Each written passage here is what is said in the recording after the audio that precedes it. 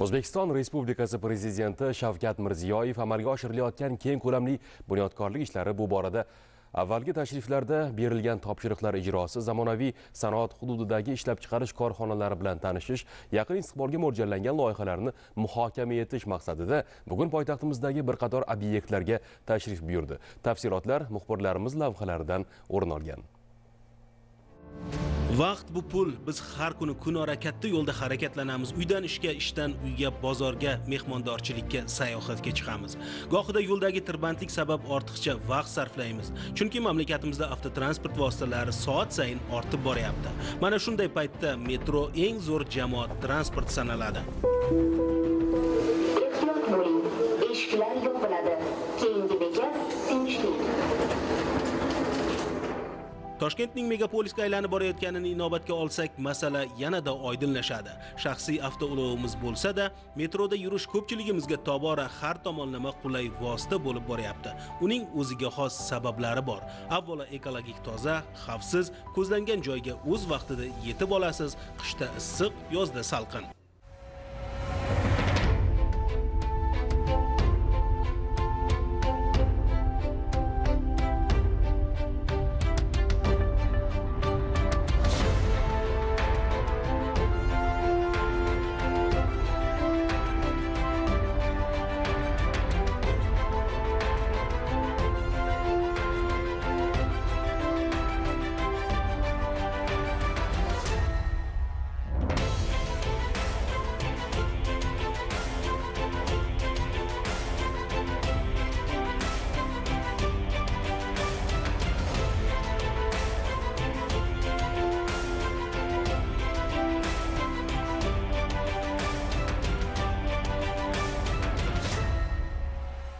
Bugun prezidentimiz shavkat mirziyoyev toshkent metropolitenining yunusobod yo'nalishida olib borilayotgan qurilish ishlari bilan tanishdi.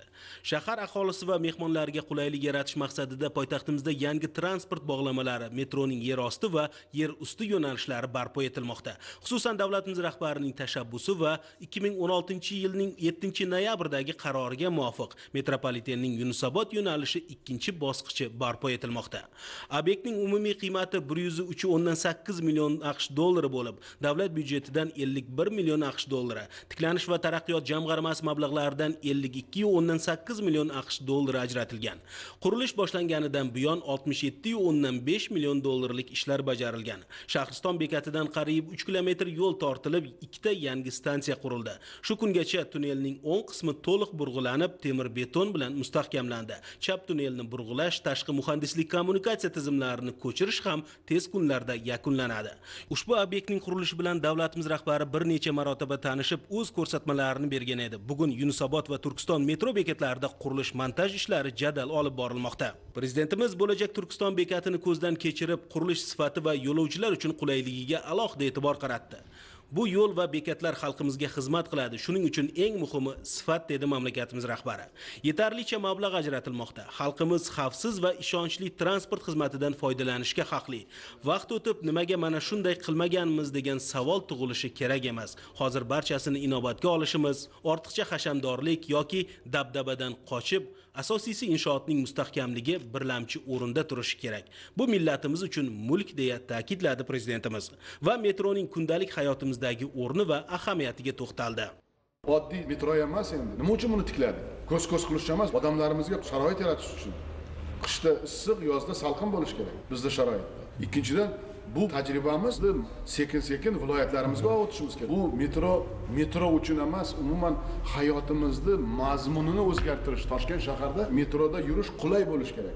Arzon qulay xavfsiz. Tasavvur qiling tashqaridagi metro bilan ichkaridagi metro birlashsa qanday ekologiya o'zgaradi? Uglekislый gaz qancha kamayadi shu o'rinda tomoshabinlarda qurilishning sifati qanaqa ekan degan savol tug'ilishi tabiiy. Qurilishga germaniya texnologiyasi va mutaxassislari jalb etilgan. Sifat va xavfsizlik ham aynan germaniya standartlariga muvofiq bo'lmoqda.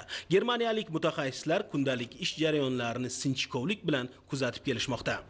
The quality ushbu loyihaning sifati haqida gapiradigan bo'lsak shuni ishonch bilan aytishimiz mumkinki barchasi jahon talablariga to'liq mos keladi. Hech bir jihat e'tiborimizdan chetda qolayotgani yo'q. Qolaversa ushbu loyiha o'zbekiston uchun muhim ahamiyatga ega va ko'p yillardan beri rejalashtirib kelingan. Loyihani amalga oshirish ishlari boshlanganda o'zbekiston tomoni bizdan ikkita masalada ko'mak so'radi. Birinchisi eng zamonaviy va so'nggi rusumdagi burg'ulash mashinasi. Ikkinchisi bu ushbu loyihani nazorat qilib borish bo'yicha bo'ldi. Ya'ni jahon talablariga mosligini nazorat qilib borish. Bizning kompaniyada chet el ekspertlardan iborat bo'lgan guruh faol ish olib bormoqda. Biz nafaqat sifatni nazorat qilyapmiz balki o'zbekistonlik mutaxassislarning ham bilimini oshirishga yordam ko'rsatyapmiz. Men ishonch bilan aytishim mumkin betonning sifatidan tortib bog'lamalarning mustahkamligigacha barchasi yuqori darajada qolaversa kommunikatsiya tizimi va yong'in xavfsizligi bo'yicha qo'yilgan talablarning bajarilishi ham bizning nazoratimizda va barchasining sifatiga to'liq kafolat bera olamiz Davlatimiz rahbari bu yerga o'tgan yilgi tashrifi chog'ida metropoliten va avtobus qatnovlarini optimallashtirish bo'yicha ko'rsatmalar bergan edi. Hisob kitoblarga ko'ra mazkur bosqichning ishga tushirilishi natijasida Yunusobod tumanida qatnaydigan avtobuslar soni 129 tadan 77 taga, ya'ni 40 foizga kamayadi. Ularning yurish masofasi 30 ming kilometrdan 17 ming kilometrga qisqaradi. Yunusobod jamoat transporti yo'nalishidagi kunlik yo'lovchilar oqimi 130 mingdan 170 mingga ortadi. Shundan 35 ming yo'lovchi metroga yo'naltiriladi. Yo'lovchilarning metrogacha yetib olishga sarflaydigan vaqti 25-38 daqiqadan 15-30 daqiqaga qisqaradi. Kuniga 5,5 tonna yoqilg'i iqtisod qilinadi. Umuman olganda bugungi kunda Toshkent metropolitenidan kuniga 240 ming yo'lovchi foydalanadi. Jami 21 kilometrdan iborat 3 ta yangi Yunusobod, Sergeli va Qo'yliq yo'nalishlari qurilishi yakunlanishi va ishga tushirilishi bilan poytaxtimizda kuniga 500 mingga yaqin yo'lovchi metro orqali qamrab olinishi rejalashtirilgan. Kelajakda bugun taqdimoti bo'lib o'tgan Buyuk Ipak yo'li metro bekatidan Toshkent traktor zavodi avtoshoh bekatigacha bo'lgan yangi yo'nalish va halqa metro yo'nalishini hisobga olganda ushbu ko'rsatkich 2 million yo'lovchiga chiqadi.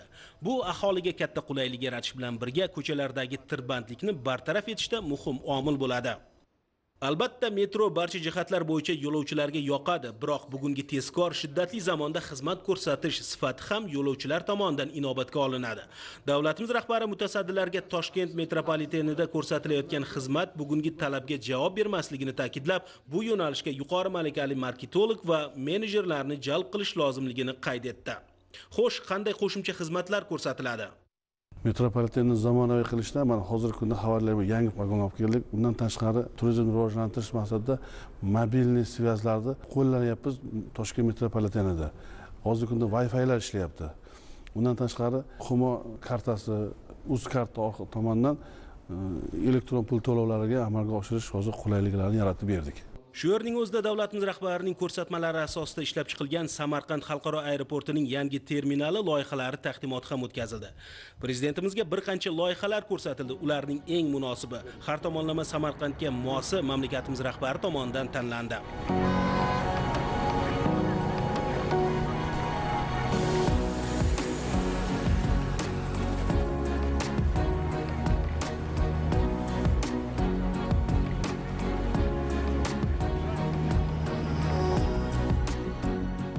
Prezidentimiz Shavkat Mirziyoyev loyihaning ichki dizaynini yanada takomillashtirish, xalqaro va mahalliy reyslarni qabul qilishda yuzaga keladigan muammolarni hozirdan inobatga olib qurish kerakligini ta'kidladi. Bugungi kunda mamlakatimizda misli ko'rilmagan darajada keng ko'lamli qurilish va bunyodkorlik ishlari amalga oshirilmoqda. Albatta bu jarayonda qurilish materiallariga bo'lgan ehtiyoj tobora ortib borishi tabiiy. Yaqinda poytaxtimizning Chilonzor tumanidagi Chorbog ko'chasida foydalanishga topshirilgan kafel ishlab chiqarishga ixtisoslashgan Orient keramik korxonasi tarmoqning mazkur yo'nalishdagi ehtiyojini qoplashda yaxshi samara bera boshladi. Ushbu zamonaviy korxonaning maydoni 316 gektarni tashkil qiladi. Mas'uliyat cheklangan jamiyati bundan 3 oy oldin ishga tushgan bo'lsa-da, bu yerda shu kunga qadar 600 ming kvadrat metr, ya'ni 18 milliard so'mlik kafel ishlab chiqarildi. Shuning 30 foizi, ya'ni 500 million dollarlik mahsulot Qozog'iston, Tojikiston, Qirg'iziston va Afg'onistonga eksport qilindi. Aslida korxona loyihasini davlatimiz rahbari 2017-yil Chilonzor tumaniga qilgan tashriflarida tasdiqlab, loyihani o'z vaqtida va sifatli yakunlash bo'yicha mutasaddilarga aniq topshiriqlar bergan edi. Shu asosda ishlab chiqarish quvvati ko'rib turganingizdek, zamon talablari asosida qisqa fursatlarda qurilib ishga tushirildi. Bundan bir yil oldin korxonaning o'rni mana bunday tashlandiq holatda bo'lgan. Ko'p o'tmay uning o'rnida mahobatli ishlab chiqarish quvvati bunyod etildi. mana shu loyihamiz bo'yicha prezidentimiz qurish bo'yicha topshiruv berildi. O'shanda bu zavodni qurilishi rejalashtirilgan edi. Mana ikki ming o'n to'qqizinchi yil ishga tushirdik. Yani bir yil davomida bir yil uch oy davomida ishga tushirdik. Korxonamiz tushganiga uch oy bo'ldi. Uch oy davomida olti yuz ming kvadrat kafel ishlab chiqardik. besh yuz ming dollarlik eksport qildik. Davlatimiz rahbari Toshkent shahridagi bunyodkorlik ishlari bilan tanishish davomida mazkur korxonada ham bo'ldi. Korxonaning ishlab chiqarish jarayoni bilan yaqindan tanishib, ishchilar bilan muloqot qildi. Mas'uliyat cheklangan jamiyatining loyiha qiymati 13.7 million AQSh dollarini tashkil qiladi. Yillik quvvati 3 million 650 ming kvadrat metr kafel ishlab chiqarishga mo'ljallangan. Mahsulot kompyuterlashtirilgan eng so'nggi texnologiyalar asosida ishlab chiqarilayotgan bo'lsa-da, ularning sifati jiddiy nazoratga olingan. Muhim korxona ishga tushishi bilan 300 ga yaqin yangi ish o'rinlari yaratildi. Korxonaning dastlabki sexida 180 tonna xomashyo qayta ishlanadi. Ikkinchi sexda esa qayta ishlangan suyuqlik soatiga 9 tonnagacha parashok kukuniga aylantiriladi. Keyingi sexda tayyor bo'lgan parashok presslash uskunasida 26 ming tonna bosim orqali presslanib, pishirish pechiga kiritib yuboriladi. Bir so'z bilan aytganda oddiy loy holatdan korxonada o'ndan ortiq jarayondan o'tib, mana bunday tayyor mahsulotga aylantirilib, buyurtmachiga yetkazib beriladi. Bunday eksportbop mahsulotlardan bir kunda 10 ming kvadrat metr ishlab chiqariladi. Eng e'tiborlisi, bularning barchasi o'zimizdan chiqayotgan xom ashyodan tayyorlanmoqda. Korxona jamoasi ushbu quvvat bilan cheklanib qolmasdan shu kunlarda Ipoteka bank hamkorligida yana bir yangi istiqbolli loyiha ustida ish olib bormoqda. Umumiy qiymati 25 million dollar bo'lgan loyiha doirasida yiliga 7.3 million kvadrat metr import o'rnini bosuvchi katta o'lchamdagi keramogranit kafellar ishlab chiqarish ko'zda tutilgan. Korxona ishga tushgach yana 700 ta yangi ish o'rni yaratiladi. O'zbekistonda ilk bora amalga oshirilayotgan ushbu loyiha natijasida 120 ga 60, 90 ga 30, 80 ga 40, 80 ga 80 sm o'lchamdagi zamonaviy kafellar ishlab chiqarish yo'lga qo'yiladi. Hozirda ana shunday mahsulotlar mamlakatimizga to'liq import qilinmoqda. Ushbu loyiha amaliyotga tatbiq etilishi bilan mamlakatimizda sifatli kafel mahsulotlarining turi yanada ko'payib, yurtimizga valyutaga import bo'lib kirib kelayotgan kafel mahsulotlarining hajmi kamayishiga erishiladi. Prezidentimiz yangi loyihani ko'zdan kechirar ekan korxonaning loyiha qiymatini yana bir barobarga ko'paytirib qurish, klaster tashkil qilib, respublikamizning har bir viloyatida ana shunday kichik qurilish materiallari ishlab chiqarishga ixtisoslashgan filial korxonalarni tashkil etish bo'yicha ko'rsatmalar berdi. Yangi loyihamizni prezidentimiz ko'rdilar. Loyihamizni biz 25 million dollarlik qilamiz dedik. Prezidentimiz 50 million dollar qilib klaster qilib ochasan dedilar. Biz bundan juda xursandmiz bunga mablag'imiz ham yetarli imkoniyatimiz ham yetarli. Ko'ngildek qilamiz shu yangi proyektlarimizni ham. Keramik granitli mahsulotlarni ishlab chiqarish parallel shu yo'nalishdagi bugun korxonalarni ham rivojlantirish bo'yicha klaster tashkil qilish bo'yicha muhtaram prezidentimiz topshiriq berdilar. Keramik mahsulotlarni ishlab chiqarishda oldin loyiha ham chet eldan olib kelinardi. Keramik mahsulotlarni ishlab chiqarishga qo'shiladigan yana o'n to'rt xildan oshiq har xil komponentlar bor ular ham chet eldan olib kelinardi. Klaster tashkil qilinishi yigirma besh yildan beri ishlamayotgan korxonalarni bugun yurib ketishiga ishlashiga bugun sharoit berdi. Bu yana qo'shimcha ish joylar bu klaster ichida o'sha xomashyoni hammasini o'zi ishlab chiqaradi o'ziga keragini kerak bo'lsa boshqa zavodlarga ham berish mumkin. Keramik zavodimiz olti foiz qo'shimchani bugun chetdan olib kiradi. Yaqin kunlarda yana shu narsa uch foizga kamayadi. Bu man o'ylayman bu juda katta ko'rsatkich. Yaqin ikki yilda qo'shadigan juda ko'p komponentlarni chetdan olib kelishga to'g'ri kelyotidi mana mana shu ikki yil ichida muhtaram prezidentimizdan bergan topshiriqlarga asosan to'qson to'rt foizga biz o'zimizni mahsulotlarni ishlatyapmiz. Mana mahsulotni ko'rdinglar sifati juda yam yuqori. Shu yerning o'zida davlatimiz rahbariga Toshkent shahrida joriy yilda amalga oshirilayotgan iqtisodiy loyihalar haqida ma'lumot berildi. Xususan, sanoat va xizmat ko'rsatish yo'nalishida 171 ta loyihani hayotga joriy etish rejalashtirilgan. Ularning 36 tasi oktyabr oyining oxiriga qadar, 48 tasi joriy yilning noyabr-dekabr oylarida yakunlanishi ko'zda tutilgan. Shuningdek, mamlakatimiz rahbari Chilonzor tumanining janubiy-g'arbiy sanoat hududida amalga oshirilgan ishlar bilan ham tanishdi. Unga ko'ra 313 gektar maydonda tashkil qilingan 256 ta korxonada 9600 dan ortiq yangi ish o'rinlari yaratilgan. Joriy yilning sentyabr oyiga qadar 1.6 trillion so'mlik mahsulot ishlab chiqarilgan. Taqdimot davomida davlatimiz rahbariga tumandagi Tachpet mas'uliyati cheklangan jamiyatining turli formalar ishlab chiqarish, Metal Tech Konstruksion mas'uliyati cheklangan jamiyatining metal mahsulotlari, oynani qayta ishlash, sendvich panellar ishlab chiqarish markazi, Ekler Cosmetics mas'uliyati cheklangan jamiyatining kosmetika mahsulotlari ishlab chiqarish markazi kabi qator loyihalar xususida ma'lumot berildi. Bundan tashqari prezidentimizga O'zbekiston Respublikasida xalqaro yuk tashishning holati va rivojlanish istiqbollari hamda Toshkent viloyati Qibray tumanida joylashgan logistika markazi loyihaviy taklifi haqida ham so'zlab berildi. Mamlakatimiz rahbari mazkur loyihalarni amalga oshirishda ishlab chiqarish texnologiyalarining zamonaviyligiga hamda mahsulot sifatiga jiddiy e'tibor qaratish bilan birga har bir loyihani o'z vaqtida tatbiq etish bo'yicha aniq vazifalar belgilab berdi. Poytaxtimiz chin ma'noda ulkan qurilish maydoniga aylanib bormoqda. Har yerda bunyodkorlik sari intilishlarga guvoh bo'lasiz. E'tiborlisi bularning bari xalqimizning yaxshi hayot kechirishiga xizmat qilishi bilan ahamiyatli. Ayniqsa, yo'l infratuzilmasi, jamoat transporti faoliyatini yanada yaxshilashga qat'iy kirishilgan. xususan yaqindagina sergeli tumanida boshlangan metro qurilish ishlari anchayin ko'zga ko'rinib qoldi endi sergelining chekka bir hududi ya'ni metroning chinor bekatidan hech qanday boshqa liniyalarga o'tmagan holda shahar markazi ya'ni metroning buyuk ipak yo'li bekatiga bemalol yetib olish imkoniyati paydo bo'lmoqda. Shu kunlarda chilonzor elektr deposi hududi ustidan o'tgan sergeli yo'nalishidagi estakadani metroning olmazor bekati bilan bog'lash ishlari davom etmoqda. Davlatimiz rahbari shahrimizdagi ana shunday bunyodkorlik ishlari bilan tanishish asnosida mazkur qurilish obyektini ham ko'zdan kechirdi. Oqshom tushgan mahal prezidentimizning tashrif dasturidan ko'plab obyektlar o'rin olgan.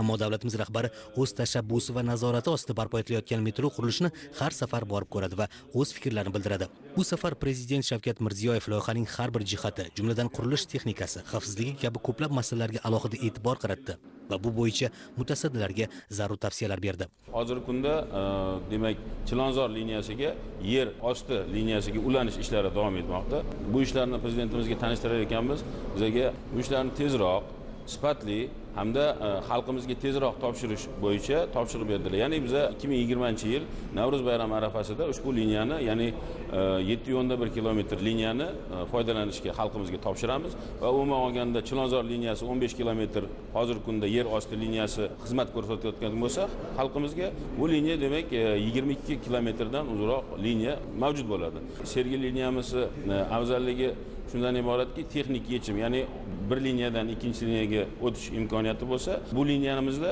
yer ustida kelayotgan yo'lovchi bir paytda o'zida yer osti bilan bog'lanib buyuk ipak yo'ligacha ya'ni o'n besh kilometr zonada ham yurishga e, imkoniyat yaratiladi. Ushbu loyihani o'ziga xosligi e, chilonzor yo'nalishini kelajakda sergeli tumanigacha uzayishi aholiga juda qulay bo'lib aholi masalan buyuk ipak yo'li bekatidan chiqib Э, sergeli mavzesiga hech qanday nimaga transportga o'tmasdan to'g'ridan to'g'ri yetib boradi. Yana afzallik tomoni shu paytgacha sergeli tumanidan chiqish aholiga juda qiyin bo'lgan bir nechta transportlar bilan shahar markaziga yetib olgan bo'lsa hozir bitta transportda ushbu metro yo'nalishida yetib olishi mumkin. Yo'nalishimizda beshta bekat mo'ljallangan bo'lib birinchi bekatimiz choshtepa bekati. Bu choshtepa bekatini joylashuv ham e, joylashishi juda qulay bo'lib zangiota tumani yangiyo'l shahridan kirib kelgan masalan aholi shu bekatda o'tirib shahar markaziga bemalol yetib olishi mumkin qiyinchiliksiz. Har bir bekatni nomiga qarab arxitektura ko'rinish ishlari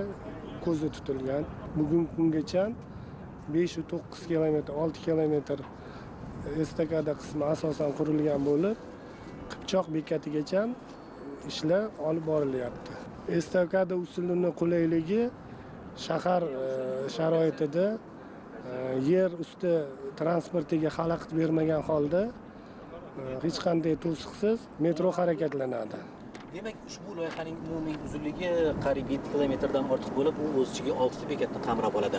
E'tiborli tomoni aynan ushbu qurilishlar nafaqat mamlakatimiz balki markaziy osiyoda ham shu bugungacha qo'llanilmagan o'ziga xos estakada usulida barpo etilmoqda. Demak biz e, turgan joy chilonzor elektropoyezdlar deposi bo'ladi va aynan e, shu joydan demak e, sergelidan kelayotgan metro yo'nalishi olmazor metro bekatiga tutashib ketadi va aynan shu jihati bilan ham mazkur loyiha alohida ahamiyatga ega. Metroning qurilish montaj ishlari izchil davom etmoqda. Bugunga kelib 6,6 kilometr uchastkada qurilish jarayoni olib borilmoqda. Ayni payt toshkent halqa yo'li bekatida 770,6 metr kvadrat metall tom yopish va temir konstruksiyalar o'rnatish ishlari bajarilgan. Sergeli bekatida poydevor quyish va kotlovanlarni qazish g'isht terish ishlari yakunlangan. Chilonzor elektr deposida 11550 metr kub hajmdagi yer ishlari bajarilgan. Choshtepa afrosiyob va qipchoq bekatlarida bino katlamonlari qazilib poydevor beton quyish ishlari ham yakuniga yetkazilgan. Davlatimiz rahbari qurilish jarayonining har bir qismiga e'tibor qaratar ekan ishlarni sifatli va o'z muddatida bajarish bo'yicha mutasaddilarga ko'rsatmalar berdi. Mazkur loyiha 2020 yili ayni navro'z bayrami arafasida to'liq yakuniga yetkaziladi va ushbu metro liniyasi xalqimiz ixtiyoriga topshiriladi. E'tiborlisi endi masofalar qisqarmoqda. Odamlarning og'iri yengil bo'lyapti. Bundan esa tabiiyki shahrimiz aholisi behad mamnun. Hali vaqtlar davrlar o'tadi. Asrlarga tatigulik bunday bunyodkorlik ishlari nafaqat poytaxtimiz balki yurtimizning barcha hududlarini qamrab olayotgan bu kabi xayrli amallar uzoq yillar odamlarning mushkulini oson qiladi. Eng muhimi bundan siz biz va albatta farzandlarimiz manfaat topadi.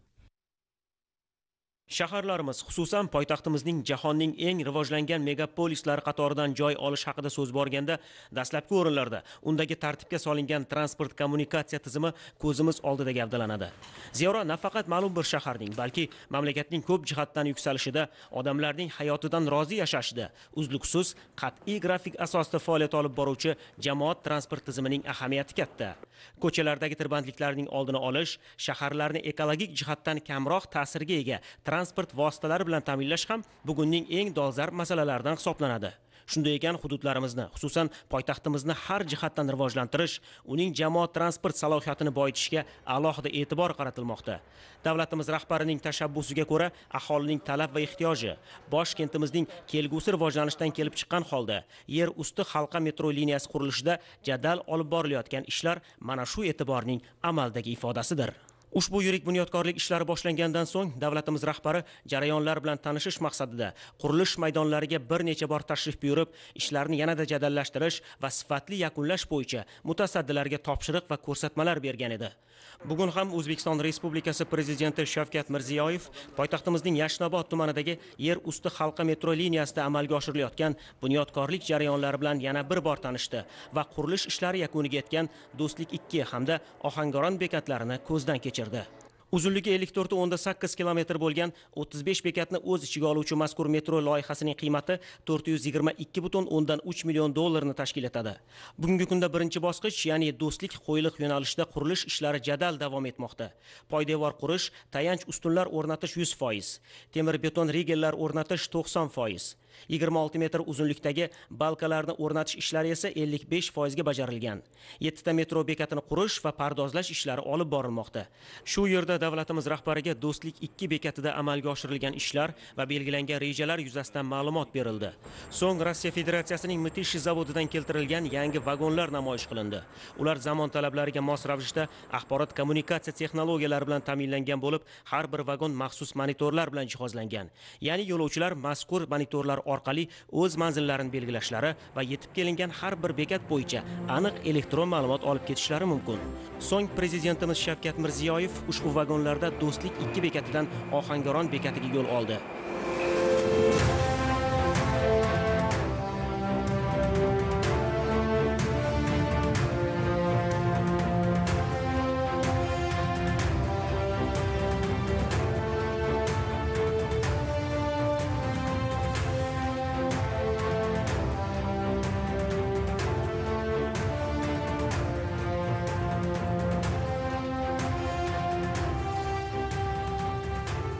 Shunday qilib yer usti halqa yo'li va zamonaviy vagonlarning dastlabki yo'lovchilari ohangaron bekatiga yetib kelishdi. Yurtboshimiz keyingi bekatda amalga oshirilgan ishlar bilan tanishar ekan barcha bekatlar ishga tushgandan so'ng metro qatnovi qat'iy grafik asosida ishlashi kerakligi yo'lovchilarga sifatli xizmat ko'rsatilishi lozimligini qayd etdi. Qurilish boshlanganidan buyon davlat byudjeti mablag'lari hisobidan 548 milliard so'm o'zlashtirilgan bo'lib shundan 317 milliard so'm mablag' joriy yilda amalga oshirilgan ishlar hissasiga to'g'ri keladi. Tiklanish va taraqqiyot jamg'armasi mablag'lari hisobidan esa shu paytgacha 22 million aqsh dollari o'zlashtirilgan. Bunyodkorlik ishlariga 2000 dan ortiq muhandis va ishchilar 300 ga yaqin texnika vositalari jalb qilingan. Metro qurilishi o'zbekiston temir yo'llari aksiyadorlik jamiyatiga qarashli ko'prik qurilish tresti unitar korxonasi tomonidan amalga oshirilmoqda. Davlatimiz rahbari mutasaddilar bilan muloqotda bekatlarning tevarak atrofida zamonaviy savdo rastalari tamaddixonalar va aholi dam olish maskanlari qurish va bunday hududlarni obodonlashtirish kerakligini ta'kidladi. Metrolardagi to'lov tizimini takomillashtirish ish jarayonida metropoliten xodimlariga barcha sharoitlarni yaratib berish kerakligini qayd etdi. Yurtboshimiz ushbu yer usti liniyasini toshkent metropoliteni va avtobuslar yo'nalishlari bilan oqilona integratsiyalash yuklamadan kelib chiqib aholiga qulayliklarni oshirib borish bo'yicha ko'rsatmalar berdi. Birinchi yanvar ikki ming yigirmanchi yildan boshlab avtomatlashtirilgan to'lov tizimini e, tatbiq etish rejalashtirilgan. Hozirgi kunda bunda уже ishlar amalga oshirilyapti. E, mana ko'rib turganingizdek yangi stansiyalarda e, qo'yilgan bekatlarda e, turniketlar avtomatlashtirilgan to'lov tizimiga moslashtirilgan. Bunda bizada to'rt xil e, transport kartalari joriy etiladi. Bu yerda pensionerlar uchun talabalar uchun o'quvchilar uchun hamda imtiyozli transport kartalari va umumiy yagona transport kartasi bo'ladi. Bu bilan aholimizga qulaylik yaratib transport kartasidan foydalanish imkoniyati bo'ladi. Transport kartalaridan tashqari avtomatlashgan to'lov tizimida e, telefonlardan foydalanish ham imkoniyati bo'ladi. Telefonga e, mobil ilova maxsus mobil ilova yuklanadi. O'sha mobil ilova orqali to'lovlarni amalga oshirsa bo'ladi. Bularni xuddi shu turniketga telefon orqali tekkizib ko'rsatib qr kod orqali ishlatsa bo'ladi.